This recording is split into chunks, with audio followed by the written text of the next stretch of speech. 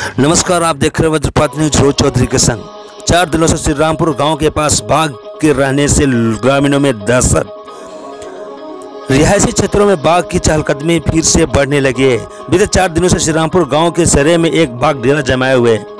यह बाघ बीटीआर के जंगलों से निकलकर गन्ने के खेतों के रास्ते यहाँ तक पहुँचा है। सोमवार शाम में गाँव के उत्तर पूर्व झाड़ा नदी के किनारे सरे में चरवाहे बकरियाँ चरा रहे थे। बकरियों की आवाज़ सुनकर बाघ मोहन से गन्ने के खेत से बाहर निकला। खेत में काम कर रहे मजदूरों ने शोर मचाना शुरू किया। तब बाघ वापस गन्ने के खेत में घुस गया। चश्मदीद, मंगल पौदार कृष्ण शाह, अजय कुमार आदि ने बताया कि एक सप्ताह पहले यह बाघ बैराटवा व सिसही के आसपास देखा गया था।